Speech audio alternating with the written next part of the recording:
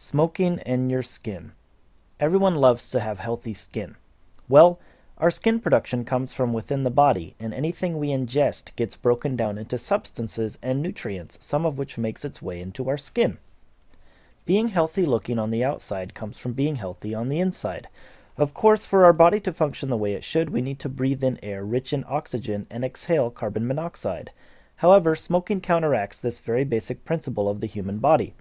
When you smoke, you are actually ingesting carbon monoxide.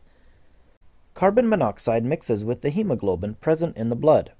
Our blood cells absorb carbon monoxide gas much faster than oxygen. In this way, carbon monoxide displaces oxygen in large quantities, depriving our skin cells of what they need. Skin repairs itself using an effective system. Smoking destroys its natural system and results in premature aging and wrinkles.